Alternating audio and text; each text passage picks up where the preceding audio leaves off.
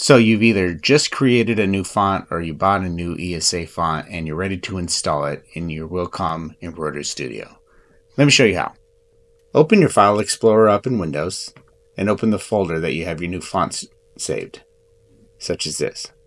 Open a second window up and you're going to want to go to your local disk drive. Select Program Data,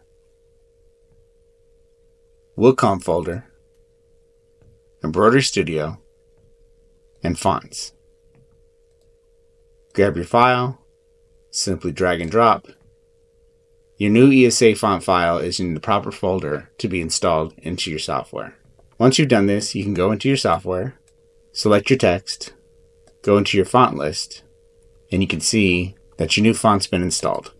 If you like this video and like to see more tips, please follow us on the links below.